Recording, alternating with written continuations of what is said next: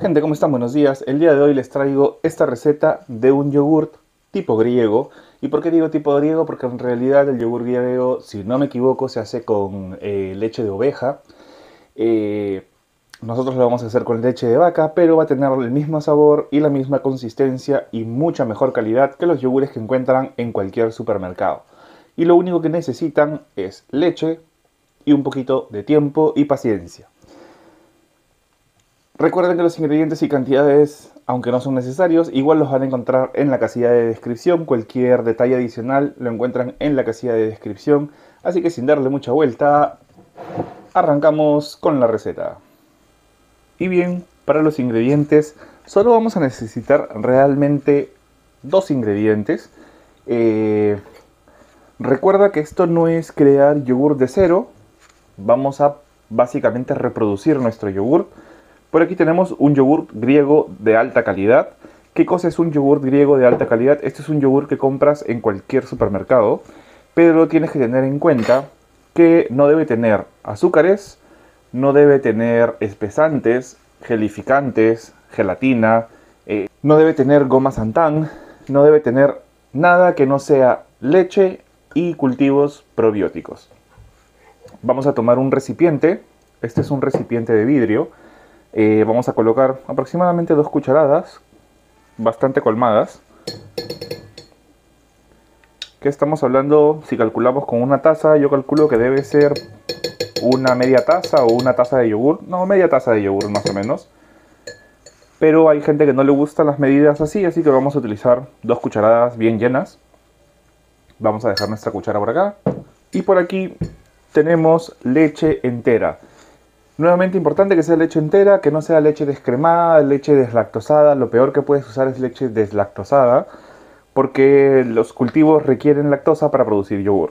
Independientemente de eso, lo que hemos hecho es calentar nuestra eh, leche a 60 grados.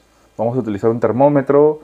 Eh, esta leche, como puedes ver, está a 60 grados, está previamente calentada. ¿Cómo sé yo si no tengo un termómetro? Vamos a utilizar el termómetro digital y unos 3-4 segundos que ya no aguantes está más que suficiente. Así que ahora vamos a colocar un poquito de nuestra leche. Vamos a ir temperando no solamente el yogur sino también el envase. Vamos a ir moviendo. ¿Cuánta leche he utilizado? Más o menos un litro. Ya yo tengo calculado que de mi bolsa de leche le saco una taza y esa es la medida que tengo aquí. Vamos a darle una pequeña movida. Y así como está, tal cual, lo que vamos a hacer es taparlo. Y así como está, lo que vamos a hacer es taparlo. Y en oscuridad llevarlo a una zona caliente de nuestra cocina. Normalmente eh, ahora en verano en cualquier parte de la cocina se puede hacer sin ningún problema. Puedes utilizar el horno o como yo lo coloco sobre el refrigerador tapado hasta el día siguiente. De, 12, de 18 a 24 horas funciona excelentemente bien. Yo por aquí tengo uno que preparé el día de ayer y te voy a mostrar cómo, cómo cosechar el yogur.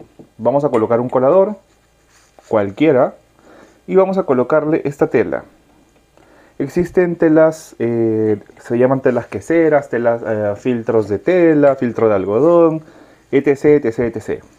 Pero, algo que la gran mayoría tiene en su cocina es este papel toalla, que es reutilizable, es una tela bastante delgada. Eh, yo coloco dos hojitas de papel, que son las que están aquí, ¿sí? Una, dos, doblado a la mitad, lo colocamos ahí, lo, colocamos como una camita. Y si puedes ver, no sé si por ahí se ve eh, que hay como un líquido. Eso es el suero.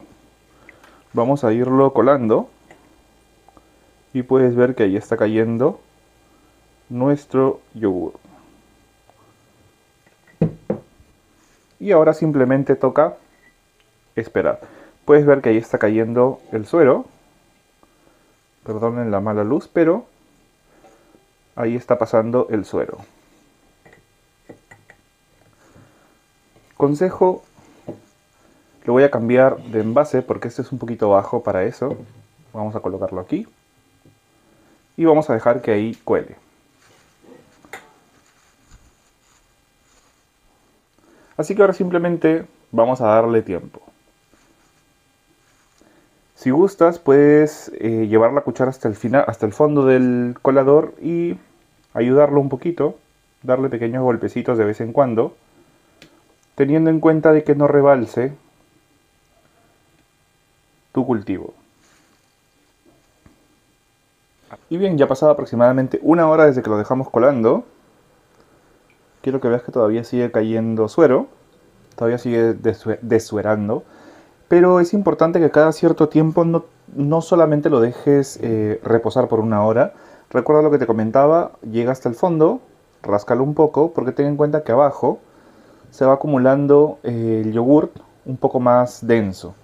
Entonces vamos nuevamente, colocamos la cuchara pegada al borde, rascamos, levantamos y lo dejamos ahí.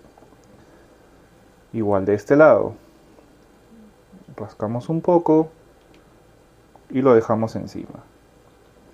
Y vamos a ir haciendo eso hasta que el yogur tome la consistencia que nosotros deseamos. Puedes ver incluso que ahora cae más rápido. Así que vamos a darle todavía unos 15-20 minutos más. En total, más o menos es una hora y media, dos horas de colado. Ya para finalizar, simplemente lo que vamos a hacer en nuestro envase en el, que dejamos reposar el yogur toda la noche. Para mí ya este es un punto en el que puedes ver cae con cierta dificultad. Así que vamos a pasarlo al envase en el que lo reposamos.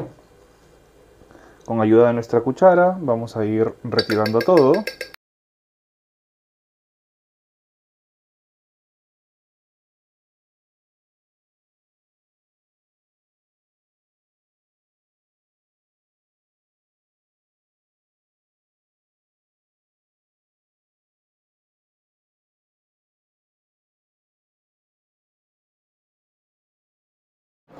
Y listo, hemos colado la totalidad de nuestro yogur. Esta telita no la botes, puedes darle una lavada, colgarla, secarla y volverla a utilizar.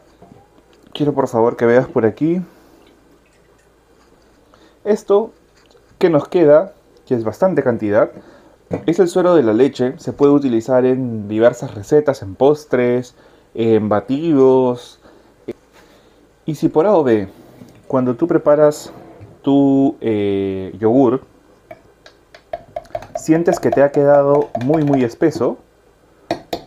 Eh, la primera vez yo lo dejé demasiado tiempo, eh, espesó bastante. Lo que puedes hacer es colocarle un poquito del suero y volverlo a diluir. Eso va a ayudar a que se suelte el yogur, a que quede un poco más líquido. No exageres porque si no vas a tener que volverlo a colar.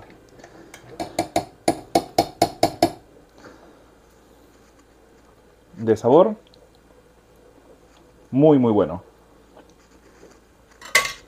Tiene su punto ácido, igual que un yogur común y silvestre.